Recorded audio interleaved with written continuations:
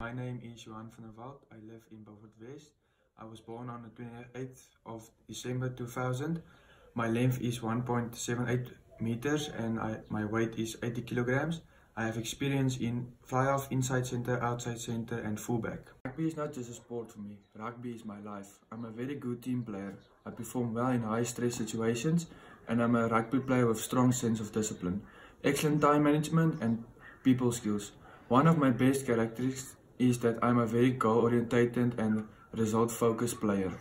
Played for the first team for four years and was captain for two of the four years. I went to Grow Rugby tournament for two years in a row. In my second year I was under captain and the player of the tournament.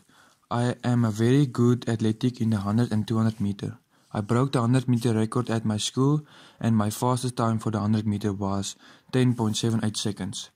I have SVT in the 100 and 200 meter. My fellow rugby teammates call me Flash. Except for playing rugby, my other interest is running, listening to music and hunting. I also love to go to the gym in my free time.